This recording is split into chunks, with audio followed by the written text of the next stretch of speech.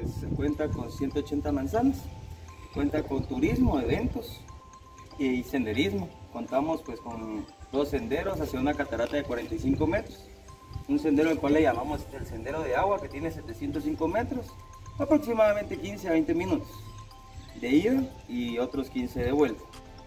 Uno puede bajar al pie de la catarata, a un mirador a verla de frente o puede llegar a la parte superior de la catarata.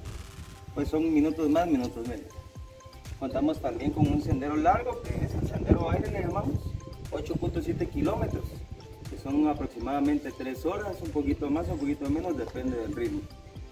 Uno puede llegar a la parte superior de la montaña, en la cual hay unas eh, antenas eólicas bastante grandes, son aproximadamente 150 metros de altura, en su punto más alto y puede descender por el área de la catarata.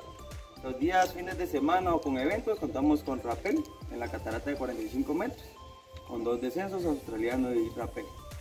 Entonces, no sé si quisieran saber algo más de la finca.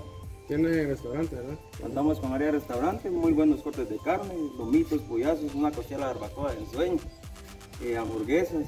Tenemos platos desde 59 quetzales no sé, ¿algo más? ¿Algún otro eh, la piscina, incluye la piscina. Sí, eh, con los 50 que sales del ingreso, tienen acceso a los dos senderos, eh, al área del jardín para pasar el día y lo que es el área de piscina.